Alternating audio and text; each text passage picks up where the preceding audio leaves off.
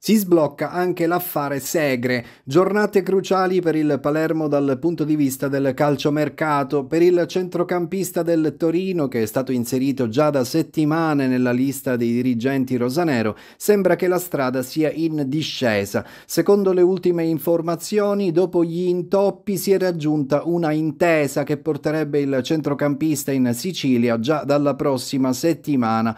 Il mercato decolla dunque con il duo Rinaudo-Zavagno che ha portato in società nei giorni scorsi Di Mariano e Bettella, oltre al centrocampista Stulaz che è stato ufficializzato nella giornata di ieri.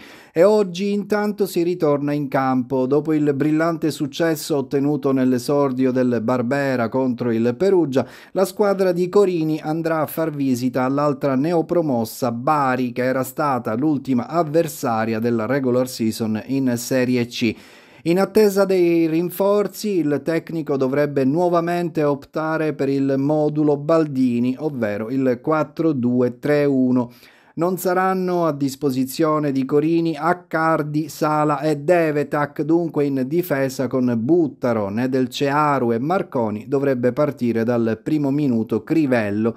Conferme in avanti con Elia, Floriano e Valente alle spalle di Brunori al San Nicola di Bari, calcio di inizio questa sera alle 20.45.